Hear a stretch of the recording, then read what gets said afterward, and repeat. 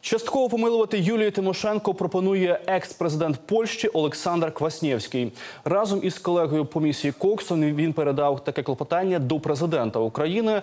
Кваснєвський пояснює, під частковим помилуванням мається на увазі зменшення строку ув'язнення політичної бранки з 7 до 2 років, які Тимошенко уже відбула у в'язниці.